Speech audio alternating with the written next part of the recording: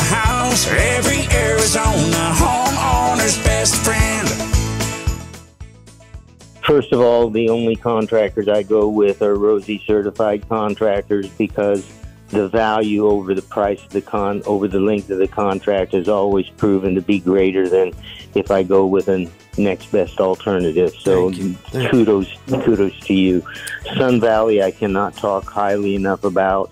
Sam came out and uh, did the original assessment and helped me through the sales contract. And then he handed me off to Stephanie Cantu, who, oh, I maybe shouldn't said her name. Uh, Stephanie, who, who who has just done a wonderful yeoman's job of keeping the project on track.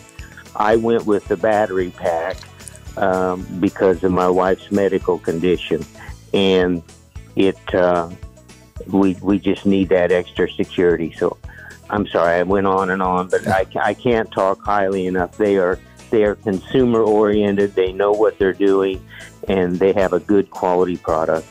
And you had you'd originally called me with a solar offer you asked my opinion of.